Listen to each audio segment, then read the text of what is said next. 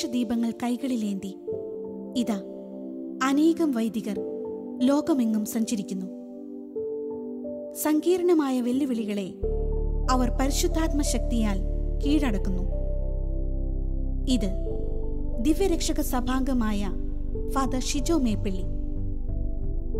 Pastoral തിയോളജിയിൽ ബിരുദാനന്തര ബിരുദവും മനഃശാസ്ത്രത്തിൽ ബിരുദാനന്തര ബിരുദവും നേടിയ ശേഷം ഇപ്പോൾ തൊടുപുഴയ്ക്കടുത്ത് പൈങ്കുളത്തുള്ള എസ് എച്ച് ഹോസ്പിറ്റലിൽ സൈക്കോളജിസ്റ്റായി ഈ വൈദികൻ സേവനം ചെയ്യുന്നു.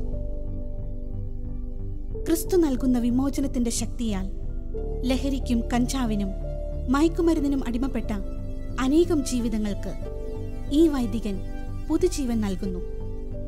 തന്റെ ദൈവവിളിയുടെ ആഴങ്ങളും ശുശ്രൂഷകളുടെ മഹത്വവും ഷിജു അച്ഛൻ നമ്മോട് പങ്കുവയ്ക്കുന്നു. ഷിജു അച്ഛ ശാലോം ടി വിയിലെ ജോഷുവ എന്ന ഈ പ്രോഗ്രാമിലെ അച്ഛനോടൊപ്പമുള്ള രണ്ടാമത്തെ എപ്പിസോഡിലേക്ക് സ്വാഗതം. Thank you father Shijo Meppilly yes കറക്റ്റല്ലേ വീട്ടുപേര്? കറക്റ്റ് ഫാദർ ഷിജോ മേപ്പിള്ളി അച്ഛന് എറണാകുളം അങ്കമാലി അതിരൂപതയിലെ കൂടാലപ്പാട് എന്ന് പറയുന്ന ഇടവകയിൽ ജനിച്ചു. അപ്പച്ചൻ അപ്പച്ചന്റെ പേര്. പാപ്പച്ചനും അനസ്താ- അനസ്താഷ്യ അമ്മയുടെ പേരിനെ കുറിച്ച് നമ്മൾ ആദ്യ എപ്പിസോഡിൽ പറഞ്ഞു. എങ്ങനെ ഈ പേര് വന്നു? അമ്മേനെ മാമോദിസം മുക്കാൻ കൊണ്ടുപോയ ദിവസം അന്നത്തെ സെയിന്റിന്റെ പേര് ഇട്ടതാണ് എന്ന് പറയുണ്ടായി. ഇവരെ രണ്ടുപേരുടെയും ഒരു പ്രത്യേകമായ താല്പര്യവും ജീവിത മാതൃകയുമാണ് അച്ഛനെ ഏറ്റവും ഒരു ദൈവത്തിന്റെ വഴി നടക്കാൻ സഹായിച്ചതെന്ന് അച്ഛൻ പറഞ്ഞു. പ്രത്യേകിച്ച് നാല് മക്കളാണ് അല്ലെ ഏറ്റവും ഇളയാളാണ് അച്ഛൻ. ഏറ്റവും മൂത്ത സിസ്റ്റർ ഒരു സിസ്റ്ററാണ് നമ്മുടെ സവീന കോൺഗ്രിഗേഷനിൽ ഒരു സിസ്റ്ററാണ് ബാംഗ്ലൂർ ജോലി ചെയ്യുന്നു. അതിന്റെ താഴെയുള്ളത് മറ്റൊരു സഹോദരിയാണ് മൂവാറ്റ് വിവാഹം കഴിച്ചിട്ടുണ്ട്. മറ്റൊരു സഹോദരനാണ് വീട്ടിൽ താമസിക്കുന്നത്. ഈ വിശേഷങ്ങൾ അച്ഛൻ പറഞ്ഞു. അച്ഛന്റെ ആ ഒരു എപ്പിസോഡിൽ എങ്ങനെയാണ് റിഡംപ്റ്റസ് കോൺഗ്രിഗേഷനിൽ എത്തിയത്? രണ്ട് കാര്യങ്ങളാണ് എനിക്ക് ഒന്ന് ഓർമ്മയിൽ വീണ്ടും കൊണ്ടുവരാൻ തോന്നുന്നത്. ഒന്ന് വികാരിമാരായിരുന്ന ധാരാളം വൈദികരുടെ വ്യക്തിപരമായ ജീവിത സ്വാധീനം. പള്ളിപ്പാടനച്ഛൻ അതുപോലെ റോക്കി ചുള്ളിയച്ഛൻ ജോസഫ് എടുത്തിച്ചിറ ജോസഫ് എടുത്തിര എടുത്തിച്ചിറച്ചൻ ഇവരുടെയൊക്കെ സ്വാധീനത്തെക്കുറിച്ച് പറയുകയുണ്ടായി ഏറ്റവും മറ്റൊരു പ്രധാനപ്പെട്ട ഒരു കാര്യമെന്ന് പറയുന്നത് ദൈവവചന പ്രഘോഷണത്തോട് താല്പര്യത്തോടെയാണ് കോൺഗ്രിഗേഷൻ അന്വേഷിച്ചിടുന്നത് അതുകൊണ്ടാണ് വിൻസെൻഷന്റെ സമീപിച്ചതും പിന്നീട് റിഡംറ്ററിസ്റ്റ് അതേ തരത്തിൽ തന്നെയുള്ള ഒരു കാരിസമുള്ള കോൺഗ്രിഗേഷനിൽ എത്തിപ്പെട്ടതുമെല്ലാം. വൈദികനായി പതിമൂന്ന് വർഷം കഴിഞ്ഞു. നമ്മൾ അവസാനം പറഞ്ഞു നിർത്തിയത് അച്ഛന്റെ ജീവിതത്തിലെ കുംഭസാരം എന്ന കൂതാശ അച്ഛനെ എങ്ങനെ ശക്തിപ്പെടുത്തുന്നു എന്നാണ്. തീർച്ചയായിട്ടും. പക്ഷേ എന്റെ ഇവിടെ ഇപ്പോൾ ഉള്ളൊരു ചോദ്യം ഇതുമായിട്ട് മറ്റ് ബന്ധമുള്ള മറ്റൊരു ചോദ്യമാണ്. ഇപ്പോൾ അച്ഛൻ വർക്ക് ചെയ്യുന്നത് ഒരു കൗൺസിലിംഗ് സൈക്കോളജിസ്റ്റായിട്ട് ഒരു സൈക്കാട്രിക് ഹോസ്പിറ്റലാണ് അതെ. ഇന്നത്തെ ആളുകളുടെ ഒരു ജീവിത രീതി ജീവിതത്തിന്റെ ഒരു സങ്കീർണത ആവശ്യത്തിലേറെ ഇല്ലാത്തതിനൊക്കെ ടെൻഷൻ അടിക്കുന്ന ഒരു പ്രകൃതമൊക്കെയാണല്ലോ മനുഷ്യർ. തീർച്ചയായിട്ടും. അപ്പോൾ ആളുകളുടെ ഇന്നത്തെ ഒരു ജീവിതാവസ്ഥയെക്കുറിച്ച് ഒരു സൈക്കാട്രിസ്റ്റ് അല്ലെങ്കിൽ ഒരു സൈക്കോളജി സൈക്കോളജിസ്റ്റ് അല്ലേ ഒരു കൗൺസിലിംഗ് സൈക്കോളജിസ്റ്റ് എന്ന നിലയിൽ കൂടി ഒരു വൈദികൻ എന്ന നിലയിലും കൂടി രണ്ടൊരു പാസ്റ്ററൽ ഡയമെൻഷനിലും കൂടി അച്ഛനെ എന്താണ് പറയാനുള്ളത് ഈ മനഃശാസ്ത്ര വിഷയം പണ്ട് മുതലേ താല്പര്യം ഉണ്ടായിരുന്നു. മാത്രമല്ല അത് പഠിക്കാൻ സെമിനാരിയിലെ ഫോർമേഷന്റെ സമയത്ത് നമുക്ക് ചെറുതായിട്ട് പ്രിലിമിനറി സ്റ്റേജസ് ഒക്കെ നമ്മളെ പഠിപ്പിക്കുമായിരുന്നു അതിനുശേഷം വൈദികനായി വൈദികനായിട്ട് ഇപ്പോൾ പതിമൂന്ന് വർഷമായെന്ന് പറഞ്ഞു. വചനപ്രഘോഷണ മേഖലയിൽ നമ്മൾ ഇറങ്ങിത്തിരിക്കുമ്പോൾ ഓരോ ഇടവകളിൽ ധ്യാനത്തിന് പോകുമ്പോഴും ഇപ്പോൾ ഞാൻ ഞങ്ങളുടെ സ്റ്റുഡൻസിന്റെ ഇൻചാർജ് ആയിരുന്നിട്ടുണ്ട് ഫോമേറ്റർ ആയിരുന്നിട്ടുണ്ട്. അപ്പോൾ അവരുടെ ഇടയിലും ഈ മനഃശാസ്ത്രപരമായിട്ടുള്ള സമീപനം വളരെ യൂസ്ഫുൾ ആണെന്ന് തോന്നിയിരുന്നു. അപ്പം അങ്ങനെയുള്ള സന്ദർഭത്തിലാണ് ഞാൻ ഞങ്ങളുടെ പ്രൊഫഷണൽ അച്ഛനോട് ചോദിച്ചിട്ട് ഞാൻ പി ജി ചെയ്തോട്ടെ സൈക്കോളജിയിൽ പി ജി ചെയ്തോട്ടെ എന്ന് ചോദിച്ചപ്പോൾ അച്ഛൻ സന്തോഷത്തോടെ അനുവാദം തന്നു. ഞാനങ്ങനെ കൗൺസിലിംഗ് സൈക്കോളജിയിൽ പി ജി കഴിഞ്ഞു. അങ്ങനെ ഇരിക്കുന്ന സന്ദർഭത്തിലാണ് വീണ്ടും അച്ഛൻ പറഞ്ഞു "എന്നാൽ അതിന്റെ ഫെർദർ സ്റ്റഡീസിന് വേണ്ടിയിട്ട് പുറത്തേക്ക് പോയി ചെയ്തോളാം പറഞ്ഞു.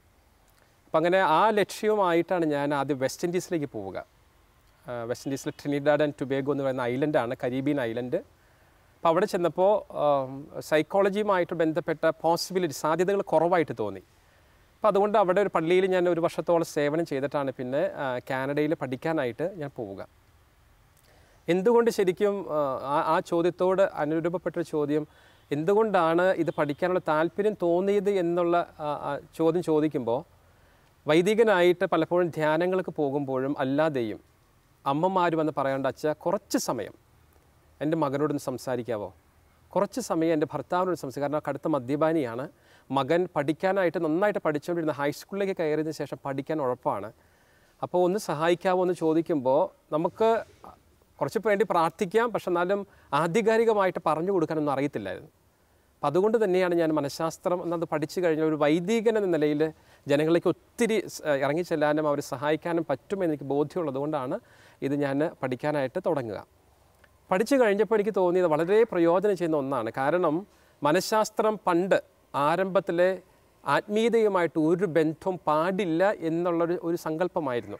ഫ്രോയിഡിന്റെ സമയത്തൊക്കെ മനഃശാസ്ത്രം ഇപ്പോൾ വിശുദ്ധന്മാർ ഇപ്പോൾ നമ്മുടെ സഭയിലുണ്ടായിരുന്ന വിശുദ്ധന്മാർക്കുണ്ടാകുന്ന എക്സ്റ്റസി അല്ലെങ്കിൽ ദൈവത്തിങ്കിലേക്ക് അവർ ഉയർന്നു പോകുന്ന ചിന്തയൊക്കെ ഫ്രോയിഡ് പറഞ്ഞിരുന്നത് അവർക്ക് മനോരോഗം എന്നുള്ള ചിന്തയായിരുന്നു. അത് ആദ്യത്തെ സങ്കല്പം. പക്ഷേ ഇപ്പോഴാണ് ഇപ്പോഴത്തെ മനഃശാസ്ത്രജ്ഞന്മാരൊക്കെ ആത്മീയതയും മനഃശാസ്ത്രവും ഒരുപോലെ പോകേണ്ടതാണെന്നുള്ള സങ്കല്പത്തിലേക്ക് വന്നത്. അത് വളരെ വ്യ- വ്യക്തമായിട്ട് എനിക്കിപ്പോൾ പൈങ്കുളം ഹോസ്പിറ്റലിൽ ഞാൻ കൗൺസിലറായിട്ട് വർക്ക് ചെയ്യുമ്പോൾ ഒത്തിരി അനുഭവങ്ങളുണ്ട്. ഇന്ന് നമുക്കറിയാം സാക്ഷരതയിൽ ഒന്നാം സ്ഥാനത്ത് നിൽക്കുന്ന സംസ്ഥാനമാണ് കേരളം. പക്ഷേ ഏകദേശം മുപ്പത് ലക്ഷത്തിലേറെ മലയാളികൾ പലതരത്തിലുള്ള മാനസിക രോഗങ്ങൾക്ക് അടിമയാണ്. ഏകദേശം ഇന്ത്യയിലെ ജനസംഖ്യയുടെ പത്ത് ശതമാനത്തിന് മുകളിലാണത്. അപ്പോൾ ശരിക്കും ഇപ്പോൾ ഞാൻ കൗൺസിലറായിട്ട് അവിടെ വർക്ക് ചെയ്യുമ്പോൾ എങ്ങനെയാണ് ഒരുപക്ഷെ മദ്യപാനം അല്ലെങ്കിൽ ഡ്രഗിന്റെ ഉപയോഗം മാനസിക രോഗത്തിലേക്ക് വ്യക്തികൾ നയിക്കുക എന്നുള്ള ഒരു ഒരേ ഒരു ഉത്തരങ്ങൾ എനിക്ക് അവിടെ നിന്ന് കിട്ടാറുണ്ട് ഞാനിപ്പോൾ അവിടെ വർക്ക് ചെയ്യുമ്പോൾ മദ്യത്തിനും കഞ്ചാവിനും ഡ്രഗ്സിനൊക്കെ അഡിക്റ്റഡ് ആയിട്ടുള്ളവരുടെ സെക്ഷനിലാണ് ഡി അഡിക്ഷനിലാണ് ഞാൻ വർക്ക് ചെയ്യുക.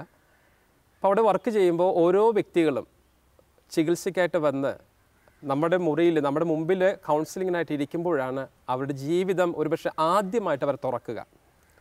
കേരളത്തിൽ എൺപത് ശതമാനം ഡൈവോഴ്സ് നടക്കുന്നത് ഇപ്പോൾ ലേറ്റസ്റ്റ് സ്റ്റഡി അതാണ് ഒരു മദ്യപാനിയുടെ കുടുംബത്തിലാണ് കാരണം മദ്യപാനിക്ക് സുബോധം നഷ്ടപ്പെടുന്നു. അതാണ് ഏറ്റവും സത്യാവസ്ഥ. കാരണം എല്ലാ ഭാര്യമാരും പറയുന്ന ഒരു കാര്യമാണ് അച്ഛ മദ്യപിച്ചില്ലെങ്കിൽ ഇതുപോലെ ഭർത്താവില്ല. പക്ഷേ മദ്യപിച്ച് കഴിഞ്ഞാൽ ഇദ്ദേഹം പിശാചാണ് എന്ത് ചെയ്യുന്നോ അദ്ദേഹത്തിന്റെ ഉപദ്രവം എത്രയെല്ലാം ബുദ്ധിമുട്ടാണ് കുടുംബത്തിൽ സൃഷ്ടിക്കുക മക്കളുടെ വിദ്യാഭ്യാസം സാമ്പത്തിക എല്ലാം താറുമാറാണ്. അങ്ങനെയുള്ള ഒരവസ്ഥയിൽ എല്ലാം നശിച്ചു കഴിയുമ്പോഴാണ് പൈങ്കുളം ഹോസ്പിറ്റലിലേക്ക് സാധാരണ ആൾക്കാർ റെഫർ ചെയ്യുള്ളൂ. അപ്പോൾ ഈ മേഖലയിൽ ഏറ്റവും കൂടുതൽ എന്നെ സ്വാധീനിച്ച ഒരു ഘടകമുണ്ട്. കാരണം ഞാനൊരു കത്തോലിക്ക പുരോഹിതനായതുകൊണ്ടും ഇപ്പോഴവിടെ കൗൺസിലറായിട്ടൊരു വൈദികൻ ഇല്ലാത്ത ഞാൻ മാത്രമേ ഉള്ളൂ. അവിടെ ഞാൻ നേരത്തെ സൂചിപ്പിച്ച ഈ കുംഭസാരം എന്ന കൂതാശയിൽ ഹീലിംഗ് വ്യക്തമായിട്ട് ഞാൻ കാണുന്നൊരു വ്യക്തിയാണ് അവിടെ കാരണം ഈ വ്യക്തികൾ കൗൺസിലിൽ തുടങ്ങി കൗൺസിലിംഗ് തുടങ്ങി കഴിയുമ്പോൾ അവസാനത്തെ ചോദ്യം ഇതായിരിക്കും കത്തോലിക്കരോട്. ഇപ്പോൾ കഞ്ചാവിന് അഡിക്റ്റഡ് ആയിട്ടുള്ള പതിനാറ് വയസ്സ് മുതലുള്ള കുട്ടികളുണ്ട് അവിടെ ഇവരോട് ചോദിക്കും അവസാനമായിട്ട് നീ പള്ളിയിൽ പോയതെന്നാ?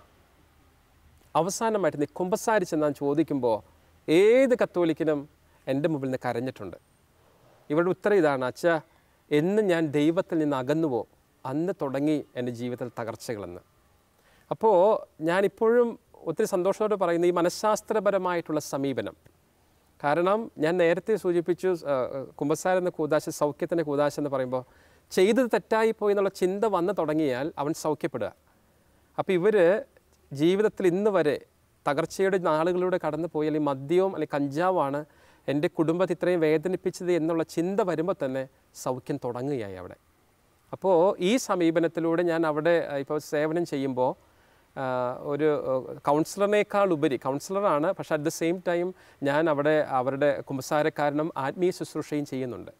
അപ്പോൾ ഇത് രണ്ടും കൂടി ബ്ലെൻഡ് ചെയ്യുമ്പോൾ മനഃശാസ്ത്രപരമായിട്ടും ഒരു വൈദികന്റെ ജീവിതവും കൂടി രണ്ടും ഒ- ഒരുമിച്ച് ചേർക്കുമ്പോൾ എനിക്ക് തോന്നുന്നു വളരെ വലിയൊരു ഒരു മിനിസ്ട്രിയാണ് ഒരു സേവനമാണ് നമ്മൾ ചെയ്യുക എന്ന് തോന്നുക ഈ മേഖലയിൽ. എനിക്ക് വളരെ ഒരു ആത്മീയ പശ്ചാത്തലത്തിൽ നിന്നുകൊണ്ട് പ്രൊഫഷണലി ഒരാളെ മാനസികമായി സഹായിക്കാൻ പറ്റുക എന്ന് പറയുന്നതിന്റെ ഒരു ബ്യൂട്ടിയാണ് അച്ഛന്റെ ഈ ഒരു പ്രൊഫഷനെ കുറിച്ച് അച്ഛൻ പറയുന്ന വാക്കുകളിൽ ആ ഒരു തീഷ്ണത. തീർച്ചയായിട്ടും ഏറെ സന്തോഷമുണ്ട് അച്ഛൻ പക്ഷേ ഇവിടെ നമ്മൾ ഞാൻ മറ്റൊരു കാര്യം അച്ഛൻ പാസ്റ്ററൽ തിയോളജിയിലാണ് മാസ്റ്റേഴ്സ് ചെയ്ത് കാനഡയിൽ. കാനഡയിൽ. അച്ഛൻ മുമ്പ് പള്ളിപ്പാടൻ അച്ഛനെ കുറിച്ച് പറഞ്ഞപ്പോഴും വൈദികരെ കുറിച്ചൊക്കെ പറയുമ്പോഴും അവരുടെ ഒരു പാസ്റ്ററൽ ഡയമെൻഷനാണ് അച്ഛൻ. ഭയങ്കരമായിട്ട് അച്ഛനെ ഹൈലൈറ്റ് ചെയ്ത് സ്വാധീനിച്ച കാര്യങ്ങളെന്ന് പറയുന്നത്. ആളുകളുടെ പ്രശ്നത്തിൽ ഇടപെടുന്നു ആളുകളെ അറിയുന്നു ആളുകളെ മനസ്സിലാക്കുന്നു. അല്ലെങ്കിൽ ആ ഒരു സാക്രമെന്റൽ ആസ്പെക്റ്റും ഒക്കെ നമ്മൾ പറയുമ്പോഴും ഒരു പാസ്റ്ററൽ ഡയമെൻഷനാണ് ഈ ലൈൻ കൂടി വരുമ്പോൾ എങ്ങനെയാണ് അച്ഛൻ ഈ പാസ്റ്ററൽ തിയോളജിയിൽ ഇത് ചെയ്യാനുണ്ടായ സാഹചര്യം? പാസ്റ്റൽ തിയോളജിയുടെ പഠനങ്ങളുടെയും പതിമൂന്ന് വർഷത്തെ വൈദിക ജീവിതത്തിന്റെയും പശ്ചാത്തലത്തിൽ ഇത്തരത്തിൽ ആളുകളെ മനസ്സിലാക്കുന്ന ഒരു പാസ്റ്റൽ ഡയമെൻഷൻ അതെന്തുമാത്രം പ്രധാനപ്പെട്ട? എന്റെ ഈ പാസ്റ്ററൽ ഡയമെൻഷനെ കുറിച്ച് പറയുമ്പോൾ ഞാൻ നേരത്തെ സൂചിപ്പിച്ചു എന്റെ മുൻ വികാരിമാരുടെ ഒരു സ്വാധീനം. എന്നെ സംബന്ധിച്ചൊരു പുരോഹിതൻ അതായിരിക്കണം എന്നുള്ള കാഴ്ചപ്പാട് ഇന്നും അന്നും എനിക്കുണ്ട്. കാരണം അവൻ ജനങ്ങൾക്ക് വേണ്ടിയുള്ളവനാണ്. ഞാൻ പട്ടം കിട്ടി ആദ്യം പോയത് ആലപ്പുഴ ഫൊറോനപ്പള്ളി അസ്തേന്തിയായിട്ടായിരുന്നു. അതിനുശേഷം പിന്നെ തിരിച്ച് സഭയിൽ വന്ന് സഭയുടെ ഉത്തരവാദിത്തങ്ങൾ ഏറ്റെടുത്തു. ഞാൻ സാധന ചെയ്തുകൊണ്ടിരുന്നത് ഇങ്ങനെയാണ്. പള്ളിയിൽ കുർബാനയ്ക്ക് വരാത്ത കുട്ടികളുടെ വീട്ടിലേക്ക് ഞാൻ ബൈക്ക് എടുത്ത് ചെല്ലും. എന്നിട്ട് മാതാപിതാക്കളോട് ചോദിക്കും എന്തുകൊണ്ട് അവൻ പള്ളിയിൽ വന്നില്ല?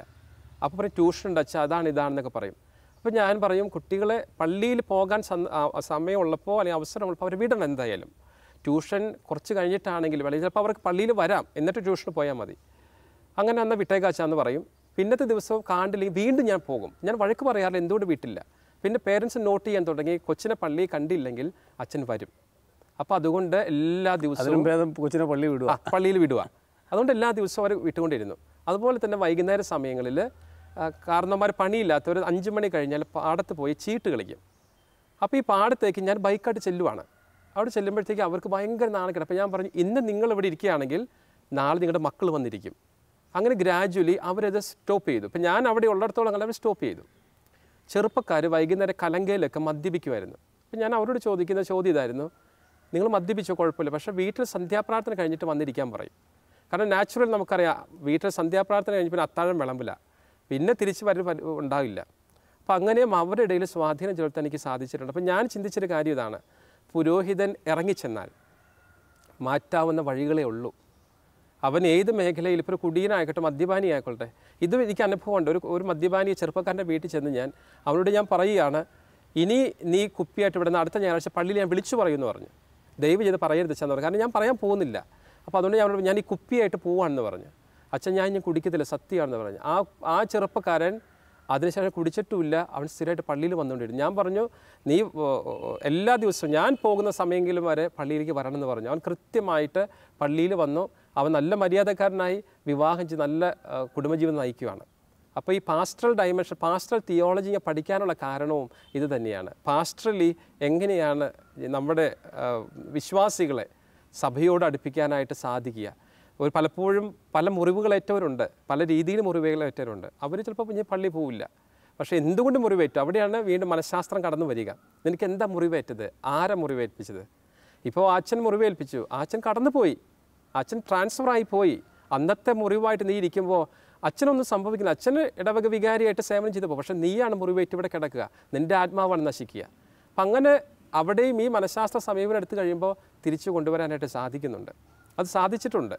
അപ്പോൾ ഇപ്പോഴും ഒരു ഒരു വൈദികന്റെ എന്നെ എന്നെ സംബന്ധിച്ചിടത്തോളം അവൻ എത്ര ഡിഗ്രി ഉണ്ടായാലും എത്ര ഉന്നത പോസ്റ്റ് സഭയിൽ വഹിച്ചാലും അവൻ ജനങ്ങളിലേക്ക് ഇറങ്ങിച്ചെല്ലുകയാണെങ്കിൽ അവൻ ജനങ്ങളുടെ അവനൊരു ആത്മാവിനെ നേടാൻ പറ്റും എന്നുള്ള വിശ്വാസം ബോധ്യം എനിക്കുണ്ട്. അച്ഛൻ പറഞ്ഞപ്പോൾ തന്നെ ഞാൻ ശ്രദ്ധിച്ചു. അതായത് ഇറങ്ങിച്ചെല്ലാൻ അല്ലെങ്കിൽ ഇറങ്ങി ചെല്ലുക എന്നുള്ളത് തന്നെയാണ് ഒരു വൈദികന്റെ വിളിയും പണിയും. പണിയും. കാരണം അത് തന്നെയാണല്ലോ പ്രധാനപ്പെട്ട കാര്യം. അങ്ങനെ ഇറങ്ങി ചെല്ലുന്നിടത്താണ് നമുക്കും ഒരു സ്വാധീനമുള്ളൂ തീർച്ചയായും അങ്ങനെ ഇറങ്ങി ചെല്ലുന്നിടത്താണ് അച്ഛൻ ഇപ്പോൾ പറഞ്ഞ പോലെ ചെറുപ്പക്കാർ പിള്ളേരോടൊക്കെ അങ്ങനെ സംസാരിക്കാൻ സ്വാതന്ത്ര്യം ഉണ്ടാവുന്നത് അവരിലേക്ക് ഇറങ്ങി ചെല്ലുന്നൊരു വൈദികനായതുകൊണ്ട് തന്നെയാണ്. തീർച്ചയായിട്ടും. എനിക്ക് തോന്നുന്നു അച്ഛന്റെ ഓരോ കാര്യത്തിനും ഒരു പ്രത്യേകതയുണ്ട്. അച്ഛനെ ദൈവം നയിക്കുന്ന ആ വഴി അച്ഛന്റെ ദൈവം ഉള്ളിൽ നൽകുന്ന ആ ഒരു കാരിസം ആ ഒരു പ്രചോദനം ആത്മാവ് നൽകുന്ന പ്രചോദനത്തിനനുസരിച്ചുള്ള ഒരു പരിശീലനവും കൂടി അച്ഛന് കിട്ടാൻ സഭയും റിഡംറ്ററിസ്റ്റ് സഭയും അതുപോലെ ദൈവത്തിന്റെ ഇടപെടലും വളരെ ഭംഗിയായിട്ട് ഉണ്ടായി എന്നുള്ളതാണ് അച്ഛന്റെ ഈ രണ്ട്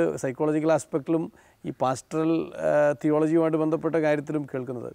ഞാൻ മറ്റൊരു വശം ഞാൻ വീണ്ടും ചിന്തിക്കുന്നത് ഒന്ന് അച്ഛൻ ആ റെഡംട്രിസ്റ്റ് കോൺഗ്രിഗേഷനെ കുറിച്ച് പറഞ്ഞപ്പോൾ ലോകത്തിന്റെ ആ ഒരു യാഥാർത്ഥ്യങ്ങളുടെ നടുവിൽ നിന്നുകൊണ്ട് വൊക്കേഷനെ ഡിസേൺ ചെയ്യാനും എന്നിട്ടും പുരോ പൗരോഹിത്യമാണ് എന്റെ വിളിയെന്ന് തിരിച്ചറിഞ്ഞുകൊണ്ട് വലിയ ഗൗരവത്തോടെ പൗരോഹിത്യത്തെ നെഞ്ചോട് ചേർക്കാൻ പറ്റിയ ഒരു സാഹചര്യത്തെക്കുറിച്ച് പറഞ്ഞു. ഞാൻ ചോദിക്കാൻ പോകുന്നത് വളരെ ഡിഫറെന്റ് ആയിട്ടുള്ള കാര്യം. പക്ഷേ കണക്ട് ചെയ്യാൻ ശ്രമിക്കുന്നത് പലപ്പോഴും അച്ഛനായാലും സിസ്റ്ററായാലും ഒരു സാധാരണ അൽമായ മനുഷ്യനായാലും കാഴ്ചപ്പാടുകളിൽ ഉണ്ടാകുന്ന എക്സ്പോഷർ കൊണ്ടും മറ്റ് കാര്യങ്ങളെക്കുറിച്ചൊക്കെ മനസ്സിലാവുന്നതുകൊണ്ട് കാഴ്ചപ്പാടുകളിൽ ഉണ്ടാകുന്ന വലിയൊരു വികാസമാണ് പലപ്പോഴും ധാരാളം നന്മകൾക്ക് കാരണം. സങ്കുചിത മനോഭാവത്തോടു കൂടിയാകുമ്പോൾ ഒരു അച്ഛനാണെങ്കിൽ പോലും വലിയ തടസ്സമാണ്. ഒരു സിസ്റ്റർ ആണെങ്കിലും ഒരു അൽമായനാണെങ്കിലും ഒരു അൽമായ നേതാവാണെങ്കിലും അതാണ് സഭയിൽ പോലും ഏറ്റവും വലിയൊരു തടസ്സം. ഞാൻ ചോദിക്കുന്നത് ഇതേ കോൺഗ്രിഗേഷന്റെ ഒരു പശ്ചാത്തലത്തിൽ നിന്നുകൊണ്ട് അച്ഛന് കാനഡയിലും അമേരിക്കയിലും ഒക്കെ വെസ്റ്റ് ഇൻഡീസിലും ഒക്കെ പ്രത്യേകിച്ച് ഞാൻ കാനഡ അമേരിക്കയിലൊക്കെ അച്ഛനായിരിക്കാൻ സാധിച്ചു. അത്തരത്തിൽ അച്ഛന് കിട്ടിയ ലോകത്തിന്റെ മറ്റ് കാഴ്ചകൾ ഈ എക്സ്പോഷർ എങ്ങനെ ഒരു ഇന്ത്യൻ വൈദികൻ എന്ന നിലയിൽ കേരളത്തിലൊരു വൈദികൻ എന്ന നിലയിൽ അച്ഛന്റെ ഒരു മിനിസ്ട്രിയെ സഹായിക്കുന്നു. ഇവിടെ നിന്ന് ഞാൻ ഉപരിപഠനത്തിനായിട്ട് വെസ്റ്റ് ഇൻഡീസിലേക്കാണ് ആദ്യം പോവുക. ട്രിൻഡാഡ് ആൻഡ് ടുബേഗോ ഞാൻ പറഞ്ഞു അവിടെ സൈക്കോളജിക്കൽ സ്റ്റഡീസുമായിട്ട് വലിയൊരു ഓപ്പർച്യൂണിറ്റി കാണാത്തത് കൊണ്ടാണ് പിന്നെ അവിടെ പഠനം ഞാൻ നടത്തിയില്ല. പക്ഷേ എനിക്ക് ദൈവം വേറൊരു അവസരമാണ് അവിടെ തന്നത്. ഞാൻ അവിടെ രണ്ട് പള്ളികളിൽ അസോസിയേറ്റ് പാസ്റ്റർ നമ്മുടെ അവിടെ സഹവികാരിയായിട്ട് വെസ്റ്റ് ഇൻഡീസിൽ വെസ്റ്റ് ഇൻഡീസിൽ ട്രിൻഡാഡ് ആൻഡ് ടുബേഗോ എന്ന് പറയുന്ന സ്ഥലം. ഐലൻഡിലാണ് ഐലൻഡാണ് അവിടെ സേവനം ചെയ്തു. ആദ്യത്തെ ഒരു പള്ളിയിൽ ഒരു രണ്ട് മാസം ഉണ്ടായുള്ളൂ. പിന്നെ ബാക്കി സമയം അരീമ എന്ന് പറയുന്ന ഒരു പാരീഷാണ്.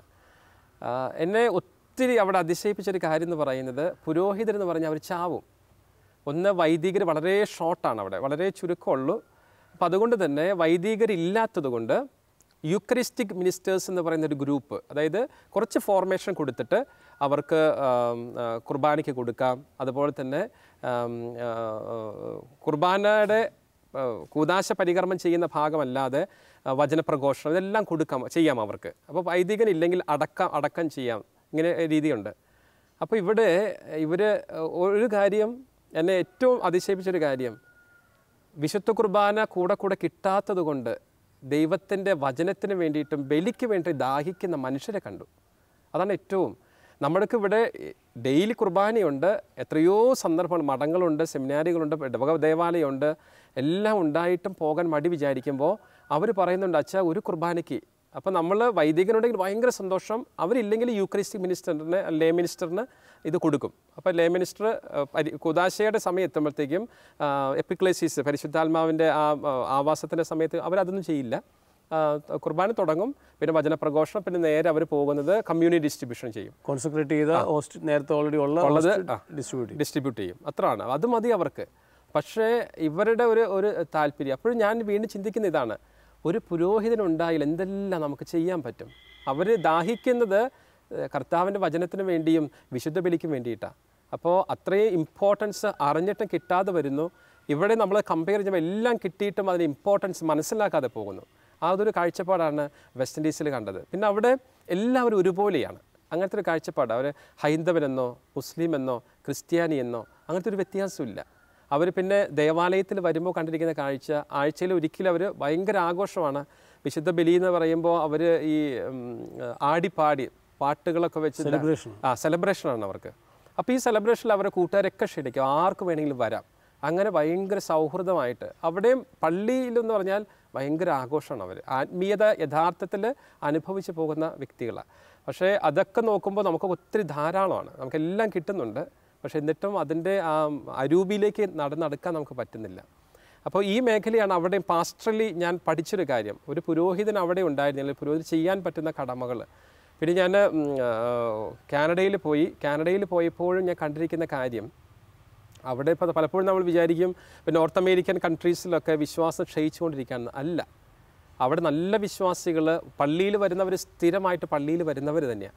അവിടെയും എല്ലാം ഒന്ന് ശ്രവിക്കാൻ ഒരു വൈദികൻ. ഞങ്ങളുടെ പ്രയാസങ്ങൾ പ്രതിസന്ധികൾ കേൾക്കാൻ ഒരു വൈദികൻ. അത്രമാത്രം അവർ ആഗ്രഹിക്കുന്നുള്ളൂ. അല്ല അപ്പുറമായിട്ട് ഞങ്ങളുടെ പേഴ്സണൽ ലൈഫിലേക്ക് നിങ്ങൾ വന്നില്ലെങ്കിലും കുഴപ്പമില്ല. അല്ലെങ്കിൽ ഒന്ന് ഞങ്ങൾ പള്ളിയിൽ വരുമ്പോൾ എന്തെങ്കിലും പ്രയാസങ്ങളുണ്ടെങ്കിൽ ഒരു നിമിഷം കേൾക്കാനായിട്ടുള്ളൊരു സന്നദ്ധത. അതുണ്ടെങ്കിൽ അവരുടെ കാര്യങ്ങളെല്ലാം പകുതി പ്രശ്നങ്ങൾ തീരും. ഇപ്പോൾ വീണ്ടും ഈ സൈക്കോളജി സ്റ്റഡീസിൽ നമുക്ക് സഹായിക്കുന്ന ഒരു കാര്യമാണ്. നമ്മൾ ഈ അവയർനെസ് ഇസ് ഹീലിംഗ് എന്ന് പറയും. അപ്പോൾ അവൻ അവ- എനിക്കൊരു പ്രശ്നമുണ്ടെന്ന് അവൻ തോന്നുന്നതുകൊണ്ടാണ് ഒരു പുരോഹിതന്റെ അടുത്ത് വരിക. അപ്പോൾ പ്രശ്നങ്ങളുമായിട്ട് വരുമ്പോൾ ആരെങ്കിലും ഒന്ന് കേട്ടിരുന്നാൽ തീരാവുന്ന പ്രശ്നങ്ങളുള്ളൂ. അപ്പോൾ ആ ഒരു പാസ്റ്റൽ ഡയമെൻഷൻ ഇപ്പോൾ ഈ മേഖലയിൽ ഇപ്പോൾ കുറച്ച് നാൾ ന്യൂയോർക്കിലെ ഒരു പാരീഷിൽ മൂന്ന് മാസം സേവനം ചെയ്യുമ്പോഴും എല്ലായിടത്തും കാണുന്ന മനുഷ്യനെല്ലാം ഒന്നാണ്. പ്രശ്നങ്ങൾ പലതാണെങ്കിലും അവന് കടന്നു പോകുന്ന വേദനകൾ ഏകദേശം സെയിം തന്നെയാണ് അപ്പോൾ അവർക്ക് കേൾക്കാനായിട്ടൊരു വൈദികനുണ്ടെങ്കിൽ എല്ലാം ആയി എന്നുള്ള ഒരു ഒരു ഒരു പഠനം അല്ലെങ്കിൽ ഒരു കണ്ണു തുറക്കാനായിട്ട് സാധിച്ചു എന്നുള്ളതാണ് ഈ പഠനത്തിലൂടെ അച്ഛൻ പറയുമ്പോൾ ഈ കേൾക്കുക എന്നുള്ളത് കാരണം അതാണ് ഇന്ന് പലപ്പോഴും നടക്കാത്തത്. ഒരു കേൾക്കാനുള്ള വ്യക്തികൾ ഉണ്ടാവുക. ഈ പാസ്റ്റൽ ഡയമെൻഷനിൽ ഏറ്റവും പ്രധാനപ്പെട്ട ഒരു കാര്യവും ആ കേൾവി തന്നെയായിരിക്കും. ഞാൻ മറ്റൊരു വിധത്തിൽ അച്ഛനോട് ചോദിക്കുന്നത് അച്ഛന്റെ ഈ ഒരു യാത്രയിൽ അത് കുഞ്ഞുനാൾ മുതൽ ഇന്ന് ഇപ്പോൾ ഈ ഇതുവരെ എനിക്ക് ഞാൻ ചിന്തിക്കുന്നതനുസരിച്ച് ഇപ്പോൾ അച്ഛനൊരു വൈദികനായിട്ട് പതിമൂന്ന് വർഷം കഴിഞ്ഞു. അല്ലെങ്കിൽ ഒരു പത്ത് നാൽപ്പത് വയസ്സ് അല്ലേ? നാൽപ്പത് നാൽപ്പത്തൊന്ന് വയസ്സ് നാൽപ്പത് വയസ്സ്. നാൽപ്പത് വയസ്സായിട്ടുണ്ട് അച്ഛന്. അങ്ങനെയുള്ള ഇത്രയും കാലഘട്ടത്തിനിടയിൽ അച്ഛന്റെ പങ്കുവെക്കലുകളിൽ വളരെ ക്ലിയറാണ്. ദൈവം വളരെ വ്യക്തതയോടെ പടിപടിയായിട്ട് ഉള്ളംകൈയിൽ താങ്ങി നടത്തിയിട്ടുണ്ട്. എങ്കിലും ദൈവം അതുപോലെ എന്റെ കൂടെ നടന്നു എന്ന് പറയാൻ തോന്നുന്ന ഏതെങ്കിലും ഇൻസിഡൻസ് അങ്ങനത്തെ ഒരു ദൈവാശ്രയത്വത്തിന്റെ ഒരു അനുഭവം പറയാനുണ്ട്? ഞാൻ ദിവ്യരക്ഷക സഭയിൽ ചേർന്ന സമയേ ശരിക്കും പറഞ്ഞാൽ ഞാൻ വീട്ടിലെ ഏറ്റവും ഇളയ മകനെന്ന് പറഞ്ഞല്ലോ. വീട്ടിലെ ഏറ്റവും ഇളയ മകനാകുമ്പോൾ നമുക്കൊരു പ്രത്യേക ഒരു വാത്സല്യമുണ്ട്. പേരൻസിനോടും കൂട്ടുകാരോടൊക്കെ. അപ്പോൾ സെമിനാരിയിലേക്ക് ചേരുന്ന ചെല്ലാനായിട്ട് പറഞ്ഞ ദിവസം എന്റെ വികാരിച്ചൻ വന്നിട്ടുണ്ട്. സിസ്റ്റർ പെങ്ങൾ പ്രത്യേക അനുവാദം വാങ്ങി വന്നിട്ടുണ്ട്. എന്റെ അമ്മായി അച്ചാച്ചൻ ഇവരൊക്കെ വീട്ടിൽ വന്നേക്കുക അപ്പോൾ ഉച്ച ഊണ് കഴിഞ്ഞിട്ടാണ് സെമിനാരിയിലേക്ക് കൊണ്ടു ചെന്നാക്കുന്ന സന്ദർഭം. അപ്പോൾ ദിവസങ്ങൾ അപ്പോൾ സെമിനാരി പോകുക എന്നുള്ളത് ഭയങ്കര സന്തോഷമാണ്. കാരണം നമുക്ക് പുതിയ ഡ്രസ്സ് ബാഗ് എല്ലാം മേടിച്ച് വെച്ചേക്കുള്ളൂ എല്ലാം തയ്ച്ചു. പക്ഷെ പോകുന്ന ദിവസങ്ങളാകുമ്പോൾ എനിക്ക് ഭയങ്കര ടെൻഷൻ. വിട്ടു പോകണമല്ലോ എല്ലാവരും നഷ്ടപ്പെടാനുള്ള ഒരു ഒരു ഭയം വരുവാ എനിക്ക്. പക്ഷെ അത് ഞാൻ ആരോടും പറയുന്നില്ല. ഇപ്പോൾ ഉച്ച ഊണ് കഴിഞ്ഞ് വൈകുന്നേരം മൂന്ന് മണിക്കാണ് കൂടാലപ്പാടിൽ നിന്ന് ചുവരയ്ക്ക് ഞാൻ പോകേണ്ടത്. അപ്പോൾ രണ്ടര ആയപ്പോഴത്തേക്ക് വികാരിച്ച് നമ്മുടെ ഇടത്തച്ചിറച്ചൽ വീട്ടിൽ വന്നു. എന്റെ സിസ്റ്റർ പെങ്ങൾ എല്ലാവരും എത്തി. അപ്പോൾ എല്ലാവരും സന്തോഷത്തോടെ കാപ്പി കുടിച്ച് വികാരിച്ച് പ്രാർത്ഥിച്ചു. പക്ഷേ എന്റെ മനസ്സിൽ ഭയങ്കര വിഷമമാണ്. എനിക്ക് പോകണ്ട. അങ്ങനെ ഒരു ചിന്ത വന്നു പെട്ടെന്ന്. ഭയങ്കര ആഗ്രഹത്തോടെ എനിക്ക് വൈദികനാകണം എന്നുള്ള ചിന്തയിലിരുന്ന മനുഷ്യർ പെട്ടെന്നൊരു ചിന്ത അയ്യോ എല്ലാം നഷ്ടപ്പെടുന്ന ഒരു ഫീലിംഗ് വന്നു. പക്ഷെ അത് പറയാൻ പറ്റിയില്ല. കാരണം എല്ലാവരും വന്നേക്കുമല്ലേ എല്ലാം മേടിച്ചൊക്കെ റെഡിയാക്കി വെച്ചേക്കുവാണ്. അങ്ങനെ ഞാൻ സെമിനാരിയിലേക്ക് ചെന്നു ചൊവ്വര ചെന്നു. അപ്പോൾ അവർ അവിടെ കാപ്പിയുടെ സമയം വലിയ ദൂരമില്ല ഒരു ഒന്നൊന്നര മണിക്കൂർ മതി. അവിടെ ചെന്ന് അപ്പോൾ ആ ദിവസം വന്ന പിള്ളേരൊക്കെ അവരെ കളിക്കുന്നുണ്ട്. വോളിബോൾ കളിക്കാനായിട്ട്. അവർ ജസ്റ്റ് വന്നുള്ളൂ. അപ്പോൾ റെക്ട്രേഷനെ കളിച്ചോളാൻ പറഞ്ഞു. ഇവർ വന്നു റെക്ട്രേഷൻ നേരെ ചാപ്പലിൽ കൊണ്ടുപോയി പ്രാർത്ഥിച്ച് പിന്നെ കൂട്ടുമുറിയിലേക്ക് കൊണ്ടുപോയി ചായ തരാനായിട്ട്. അപ്പോഴെന്റെ മനസ്സിൽ ഞാൻ ഇവരോട് തിരിച്ച് പോകണം എന്നുള്ള ചിന്ത തന്നെ എനിക്ക്.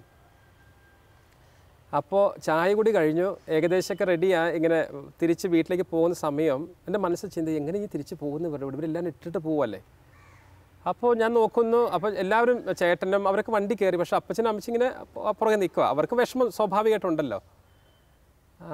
അപ്പോൾ ഞാൻ ഈ വണ്ടിയുടെ അവരെല്ലാം വണ്ടി കയറി വണ്ടിയുടെ പുറകെ നിൽക്കുമ്പോഴത്തേക്കും റെക്ട്രഷൻ വന്ന് ഞാൻ മാത്യു മഞ്ഞക്കുന്നലിച്ച് വന്ന് എന്റെ തോളത്ത് ഇങ്ങനെ പിടിച്ചു.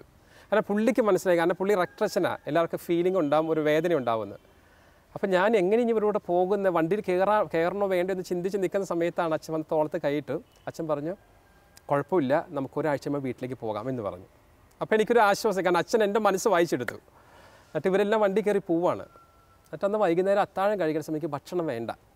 എനിക്ക് ഭയങ്കര വിഷമമാണ് പിറ്റേ ദിവസം അപ്പം ഞാൻ അങ്ങനെ ശരിക്കും പറഞ്ഞാൽ ഉറക്കം വരുന്നില്ല കാരണം വീട്ടിൽ നിന്ന് മാറി നിൽക്കാത്തതുകൊണ്ട് പിറ്റേ ദിവസം രാവിലെയായി ബ്രേക്ക്ഫാസ്റ്റിന് അല്ല രാവിലെ എഴുന്നേറ്റ് നമുക്ക് കുർബാനയുണ്ട്. കുർബാനയ്ക്ക് പോയി പക്ഷേ ബ്രേക്ക്ഫാസ്റ്റ് എനിക്ക് കഴിച്ചിട്ട് ഇറക്കാൻ പറ്റുന്നില്ല.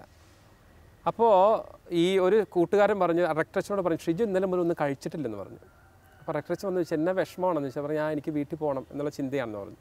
കുഴപ്പമില്ല ഒരാഴ്ച നമുക്ക് പോകാമെന്ന് പറഞ്ഞു. അപ്പോൾ ഞാൻ പറഞ്ഞു വീട്ടിൽ നൊവേനകളുണ്ടല്ലോ. എനിക്ക് വിശുദ്ധ അന്തോണിസിന് ഭയങ്കര ഭക്തിയുണ്ട്. വീടിന്റെ തൊട്ടടുത്ത് കപ്പേളയുണ്ട്. എല്ലാ ചൊവ്വാഴ്ചകളും നൊവേനയാണ് അപ്പോൾ ഈ അമ്മ ഞാൻ പള്ളിയിലേക്ക് പോ അല്ല സെമിനാരിലേക്ക് പോകുമ്പോൾ ഈ വിശുദ്ധരുടെ നൊവേന പുസ്തകങ്ങളെല്ലാം എന്റെ ബാഗിൽ വെച്ചിട്ടുണ്ട് എനിക്കറിയാം. അപ്പോൾ വിശുദ്ധ അന്തോണിസിനോട് പ്രത്യേകമായിട്ടുള്ള സ്നേഹമുള്ളതുകൊണ്ട് ഞാൻ വിശുദ്ധ അന്തോണിസിന്റെ നൊവേന ഇങ്ങനെ പ്രാർത്ഥിക്കാൻ തുടങ്ങാം ഞാൻ ചെന്ന് മൂന്നാമത്തെ ദിവസമായിട്ട് എനിക്ക് സന്തോഷം ഒട്ടുമില്ല. എനിക്ക് ഭയങ്കര വിഷമമാണ്. അപ്പോൾ ഞാൻ ഒരു ഇല്ലന്റെ അടുത്ത് എന്റെ സിസ്റ്റർ പെങ്ങൾ അന്ന് എറണാകുളത്ത് തമ്മനത്തുണ്ട്. സിസ്റ്റർ പെങ്ങൾക്ക് എഴുതാണ് എനിക്കിവിടെ ഭയങ്കര വിഷമമാണ് എനിക്ക് തിരിച്ച് പോകണം വീട്ടിലേക്ക്. വേറെ ഒന്നും എഴുതാനില്ല. അപ്പോൾ ചെന്ന് മൂന്നാമത്തെ ദിവസം ഞാൻ ഈ കത്ത് എഴുതി ഒട്ടിച്ച് അന്ന് വിളിക്കാനൊന്നും പറ്റിയില്ലല്ലോ. ഞാനിത് അയച്ചു. ആ അയച്ച അന്ന് മുതൽ അതിന്റെ വന്ന പിറ്റേ ദിവസം മുതൽ ഞാൻ എന്തായാലും എനിക്ക് അച്ഛനാകണം. കാരണം ഭയങ്കര ആഗ്രഹം. അതേപോലെ തന്നെ വീട്ടിലായിരിക്കണം. അങ്ങനെ ചിന്ത വന്നേക്കുവാണ്. ഞാൻ വിശുദ്ധ അന്തോണിസിന്റെ നൊവേന കയ്യിലെടുക്കുകയാണ് രാത്രി. കാരണം എനിക്ക് ഉറക്കമില്ല. ഞാൻ ഈ നൊവേന പുസ്തകം അത് പ്രാർത്ഥിക്കുകയാണോ വായിക്കുകയാണോ അതെനിക്ക് കൃത്യമായിട്ട് അറിയില്ല. കാരണം ഉള്ളി തട്ടി വേദനയുണ്ട്. പക്ഷേ പ്രാർത്ഥിച്ച് എനിക്ക് അത്രയും വിശ്വാസമൊക്കെ അന്നുള്ളൂ പക്ഷേ അന്തോണിസിനോട് പ്രാർത്ഥിച്ചെല്ലാം കിട്ടുമെന്നുള്ള ചിന്തയുണ്ടായിരുന്നു. ഞാൻ നൊവേന ഇങ്ങനെ വായിച്ചുകൊണ്ടിരിക്കുന്നു. എല്ലാ ദിവസവും ഉറക്കമില്ല ഭക്ഷണമില്ല അപ്പോൾ അച്ഛൻ പറഞ്ഞു നമുക്ക് അടുത്ത ആഴ്ച പോകാം വീട് അടുത്തല്ലേ എന്ന് പറഞ്ഞു. ഞാൻ കത്ത് എഴുതി മൂന്നാമത്തെ ദിവസം പെങ്ങൾക്ക് കത്ത് കിട്ടുക പെങ്ങൾക്ക് കത്ത് കിട്ടിയപ്പോൾ ഭയങ്കര വിഷമമായി. കാരണം എനിക്ക് സന്തോഷമില്ല എന്നുള്ള ചിന്തയാണ് പെങ്ങൾക്ക്. പെങ്ങൾ അധികം ഒട്ടും സമയം കളയാതെ മറുപടി അയക്കുകയാണ്. സ്നേഹം നിറഞ്ഞ ഷിജോപോന് വൈദികനാകുക എന്നുള്ളത് ദൈവത്തിന്റെ വിളിയാണ്. അത് ആർക്കും നിർബന്ധിക്കാൻ പറ്റില്ല. അപ്പോൾ മോന് താല്പര്യമില്ല എങ്കിൽ ഇന്ന് തന്നെ റെക്ട്രസിനോട് പറഞ്ഞിട്ട് വീട്ടിലേക്ക് ചെല്ലുക. അവർ ഭയങ്കര ഹാപ്പി ആയിട്ട് സ്വീകരിക്കുന്നു പറഞ്ഞ കത്ത് എനിക്ക് എഴുതുക. അപ്പോൾ ഞാൻ ഈ നൊവേന ചെല്ലുന്നുണ്ട്. ഏകദേശം ഒരു ഒൻപത് ദിവസമായിപ്പോൾ അതായത് ഒൻപതാമത്തെ ദിവസമായപ്പോഴത്തേക്ക് എനിക്ക് പെങ്ങളുടെ കത്ത് കിട്ടുന്നു. ഞാൻ സെമിനാറിൽ ഒമ്പതാമത്തെ ദിവസം. കത്ത് കിട്ടിയപ്പോഴാണ് ഈ ഈ പെങ്ങളിങ്ങനെ എഴുതിയിരിക്കുക. പക്ഷേ ഞാൻ ചെന്ന ഉറ ആ ദിവസം മുതൽ നൊവേന ചെല്ലുന്നുണ്ട്. അപ്പോഴും ഒമ്പതാമത്തെ ദിവസമായി. ഈ ഒമ്പതാമത്തെ ദിവസം എനിക്ക് ഭയങ്കര സന്തോഷമാണ്. എനിക്കത് പറഞ്ഞറിയിക്കാൻ പറ്റില്ല. ഭയങ്കര ഹാപ്പി ഞാൻ. വീട്ടിനെക്കുറിച്ച് ഓർക്കുന്നില്ല പെങ്ങളെക്കുറിച്ച് ഓർക്കുന്നില്ല സെമിനാരിയും വൈദിക ജീവിതം മാത്രം ഓർക്കുന്നുള്ളൂ. അങ്ങനെ പത്താമത്തെ ദിവസം ഒരു ഞായറാഴ്ച അച്ഛൻ വന്ന് പറയാണ് റെക്ട്രസൻ പറയുക ഷിജോ ഒരു പത്ത് ദിവസം നമുക്ക് വീട് വരെ ഒന്ന് പോകാം എന്ന് പറഞ്ഞു. ഞാൻ അച്ഛനോട് പറയും അച്ഛനെനിക്ക് പോകണ്ട എന്ന് പറഞ്ഞു. പുള്ളിക്ക് ഭയങ്കര വണ്ടറായി കാരണം അന്ന് വരെ ഞാൻ വളരെ സന്തോഷമില്ലാതിരുന്ന ഞാൻ പെട്ടെന്ന് ഭയങ്കര സന്തോഷമുള്ള വ്യക്തിയായിട്ട് മാറുകയാണ്. അപ്പോൾ അച്ഛൻ പറഞ്ഞു അല്ല ഇന്നലെ വരെ ഭയങ്കര സന്തോഷമില്ലായിരുന്നല്ലോ പക്ഷേ പോകണം പോകണം എന്നുള്ള ചിന്തയില്ലായിരുന്നു ഞാൻ പറഞ്ഞു ഇല്ല എനിക്കറിയില്ല. എനിക്ക് ഇനി വീട്ടിൽ പോകണ്ട. ഞാൻ ഐ വാസ് റിയലി ഹാപ്പി ഭയങ്കര സന്തോഷമാണ്. അപ്പോൾ പെങ്ങളുടെ കത്ത് കിട്ടി ഞാൻ ഉടനെ കത്ത് മറുപടി അയക്കാണ് സ്നേഹം ചേച്ചിക്ക് എനിക്ക് ഭയങ്കര സന്തോഷമാണ്. ഞാൻ വീട്ടിലേക്ക് പോകുന്നില്ല.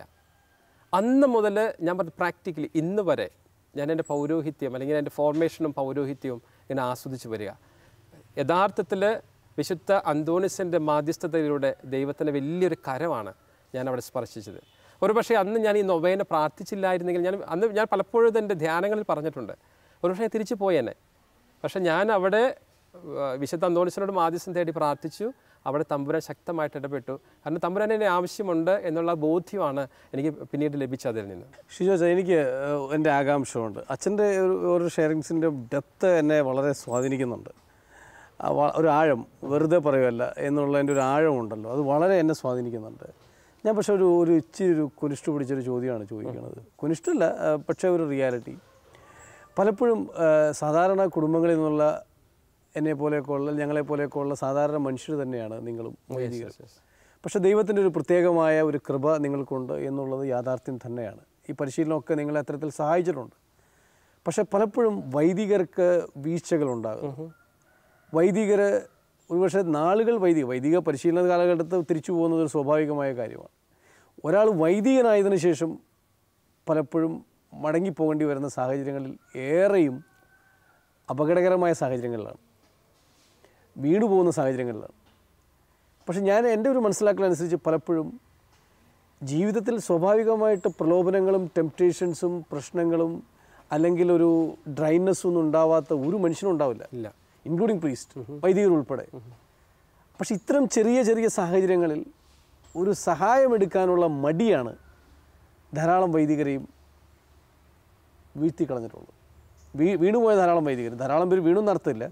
പക്ഷെ വീണുപോയവരിലേറെ പേരെയും വീഴ്ത്തി കളഞ്ഞിട്ടുള്ളത് ഇത് മറ്റുള്ളവരിൽ നിന്ന് സഹായം എടുക്കാനുള്ള മടിയാണ്. അച്ഛന്റെ വ്യക്തിപരമായ പറയുന്നത് ഒരു വൈദികന്റെ ജീവിതയാത്രയിൽ ഒരു ആത്മീയന്റെ ജീവിതയാത്രയിൽ ഈ ഒരു സഹായമെടുക്കൽ എന്തുമാത്രം പ്രധാനപ്പെട്ട കാര്യം? നല്ലൊരു ചോദ്യമായിട്ട് എനിക്ക് തോന്നുന്നതാണ് അത് ഇന്നത്തെ ലോകത്തിൽ ഒരു പുരോഹിതന്റെ വെല്ലുവിളിയുമായിട്ട് ബന്ധപ്പെട്ട ഒരു ചോദ്യം അത്. ദൈവശാസ്ത്രം ഞാൻ ബാംഗ്ലൂർ ഞങ്ങളുടെ റിഡംട്രിസ്റ്റിന്റെ തന്നെ മൗണ്ട് സെന്റ് അൽഫോൺസസ് കോളേജിൽ പഠിച്ചത് അപ്പോൾ അവിടെ ഒരിക്കൽ ഞങ്ങൾ എല്ലാ വർഷവും ഓണം ആഘോഷിക്കും. അപ്പോൾ നമുക്ക് ചുറ്റുവട്ടത്തുള്ള ആൾക്കാരെയൊക്കെ ക്ഷണിക്കും. അങ്ങനെ ഒരു ഹൈന്ദവ സഹോദരൻ അവിടെ എന്റെ ഒരു സുഹൃത്തായ ഒരു ബ്രദറിന്റെ സുഹൃത്ത അദ്ദേഹം വന്നിരുന്നു. അപ്പോൾ ഇതെന്താണ് ശരിക്കും യഥാർത്ഥത്തിൽ നിങ്ങളിവിടെ എന്താ ചെയ്യാമെന്ന് ചോദിച്ചപ്പോൾ ഞങ്ങൾ ഒരുമിച്ച് നിൽക്കുന്നത് അപ്പോൾ പറഞ്ഞു ഇത് വൈദികരുടെ ഫോർമേഷൻ അതായത് പരിശീലന കാലഘട്ടത്തിൽ അവർ സ്പെൻഡ് ചെയ്യുന്ന ദൈവശാസ്ത്രം പഠിക്കുന്ന സെന്ററാണെന്ന് പറഞ്ഞു. അപ്പോൾ അദ്ദേഹം ചോദിച്ചു അപ്പോൾ നിങ്ങളുടെ വിവാഹമൊക്കെ എന്നാ? അപ്പോൾ ഞങ്ങൾ പറഞ്ഞു ഞങ്ങൾ വിവാഹം ചെയ്യില്ല. ഈ ഹൈന്ദവനായ സഹോദരൻ ബാംഗ്ലൂർ ജനിച്ച് വളർന്നതാണ്. അദ്ദേഹം വളരെ അതിശയിച്ചിട്ട് വിവാഹം ചെയ്യില്ലേ? അവൻ പറഞ്ഞു വന്നത് എന്തോ ഒരു അബ്നോർമാലിറ്റിയാണ് അവൻ പറയുക. അവന്റെ ആ അതിശയോക്തിയിൽ ഇത് വിവാഹം ചെയ്യാത്ത മനുഷ്യരോ? അപ്പോൾ ഈ ചോദ്യത്തിൽ നിന്നും അവന്റെ ചിന്ത ഇതാണ് എല്ലാവരും വിവാഹം അല്ലെ എല്ലാവരും ഒരേപോലെ തന്നെ ജീവിതം മുന്നോട്ട് പോകുന്നു എന്നുള്ളൊരു കാഴ്ചപ്പാട് അവനുള്ളത് അല്ലെ ഇവർ മാറ്റിവെക്കപ്പെട്ട വ്യക്തികളാണ് അല്ലെങ്കിൽ ദൈവത്തിന്റെ പ്രതിപുരുഷനാണ് എന്നൊന്നും അവൻ അറിയത്തില്ല. ഇന്നത്തെ ലോകത്ത് വൈദികർക്ക് ഒത്തിരി വെല്ലുവിളികളാണ്. ഞങ്ങളുടെ ഫോർമേറ്റേഴ്സ് എപ്പോഴും പറയുന്ന ഒരു കാര്യമാണ് വിശുദ്ധ കുർബാനയുടെ സമയമല്ലാതെ കാനോന നമസ്കാരത്തിന്റെ സമയമല്ലാതെ ഒരു പുരോഹിതൻ ഒരു ദിവസം ഒരു മണിക്കൂറെങ്കിലും വിശുദ്ധ കുർബാനയുടെ മുമ്പിൽ സമയം സ്പെൻഡ് ചെയ്യണം. ഞാൻ പറയുന്നത് ഈ നേരത്തെ ചോദിച്ച ചെറുപ്പക്കാരൻ എങ്ങനെ നിങ്ങൾ അത് വിവാഹം ചെയ്യാതെ ജീവിക്കുന്നു? ലോകത്തിന് മുമ്പിൽ ഒരു പക്ഷേ നമ്മൾ പുരോഹിതരും സന്യസ്തരും വേഷം കെട്ടി നടക്കുന്ന ഒരു വ്യക്തികളാണ് അങ്ങനെ ചിന്തിക്കുമ്പോൾ. കാരണം മറ്റുള്ളവരിൽ എന്താണ് ഞങ്ങൾക്ക് വ്യത്യാസമുള്ളത്? ഞങ്ങൾ ഉടുപ്പിട്ട് നടക്കുന്നു എല്ലാ ഒരുപോലെ ജീവിക്കുന്നു. അതാണ് അവന്റെ കാഴ്ചപ്പാട്. അത് സത്യമാണ്. പക്ഷേ ഈ ദിവ്യകാരുണ്യത്തിന്റെ മുമ്പിൽ നിന്നും ശക്തി സ്വീകരിക്കുന്നില്ല എങ്കിൽ ഞങ്ങളും മറ്റുള്ളവരും വലിയ വ്യത്യാസം ഉണ്ടാകില്ല. പ്രതിസന്ധിയിലൂടെ കടന്നു പോകുന്ന സമയമാണ്. പ്രത്യേകിച്ച് എല്ലാ വൈദികരും സന്യസ്തരും. ഒത്തിരിയേറെ ചലഞ്ചസ് ഉണ്ട്. ഈ ലോകത്തിൽ അവർ ജീവിക്കുമ്പോൾ ചിലപ്പോൾ ഒരു പക്ഷേ ഒറ്റയ്ക്കാണ് ജീവിക്കുക. ആരും മിണ്ടാനില്ല പറയാനില്ലാത്ത അവസ്ഥ ഉണ്ടാകുന്ന സമയങ്ങളുണ്ട്. പക്ഷേ ഇപ്പോൾ റൈച്ചേട്ടൻ ചോദിച്ച ചോദ്യം വളരെ പ്രസക്തമായിട്ടുള്ളത്. എന്തുകൊണ്ട് അവർ സഹായം അല്ലെങ്കിൽ എന്തുകൊണ്ട് ഒരു ഒരു പ്രശ്നത്തിലേക്ക് കടന്നു വരുന്നു? ചോദ്യത്തിൽ നിന്ന് ഉത്തരവുണ്ട്. അവർ സഹായത്തിന് വേണ്ടി ഒരുപക്ഷെ പോകാറില്ല. ഞാൻ നേരത്തെ പറഞ്ഞു അവയർനെസ് ഈസ് ഹീലിംഗ് എനിക്കൊരു പ്രശ്നമുണ്ട് എന്നുള്ള ചിന്ത ആ വ്യക്തിക്ക് എപ്പോൾ വരുന്നു? അപ്പോൾ തന്നെ അവൻ സഹായത്തിന് പോവുകയാണെങ്കിൽ എല്ലാ പ്രശ്നങ്ങൾക്കും പരിഹാരമുണ്ട്. ഞാൻ ഒരു വൈദികനായിരിക്കെ ജനങ്ങളുമായിട്ട് അവർക്ക് ഇറങ്ങി ചെല്ലണമെങ്കിൽ എന്നെക്കുറിച്ച് അവർ എന്ത് ചിന്തിക്കുന്നു എന്ന് ഞാൻ അറിഞ്ഞിരിക്കണം.